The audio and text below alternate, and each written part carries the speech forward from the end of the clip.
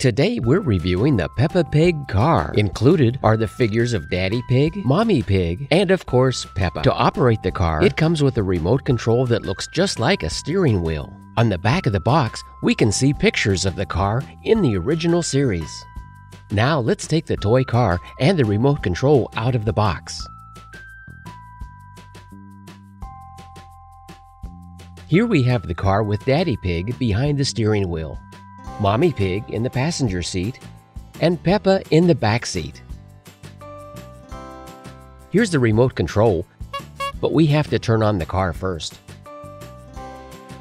And then, just as you heard, the theme song from the Peppa Pig series comes on. There's a horn button on the remote control, and by moving the steering wheel to the left or to the right, the front wheels move. That's how you can operate and steer the car.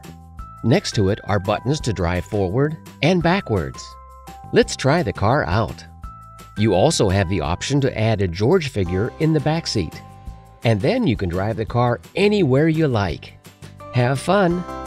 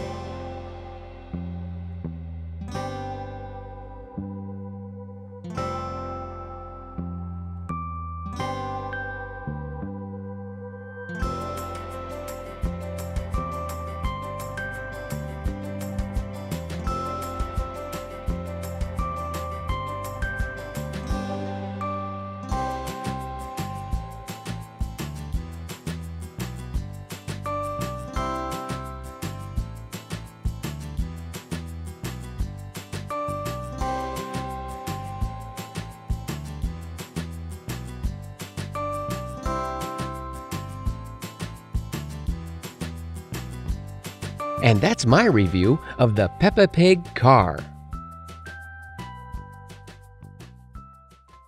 I hope you enjoyed that video. If you like, you can watch some more right here. Don't forget to like this video and please subscribe to this channel.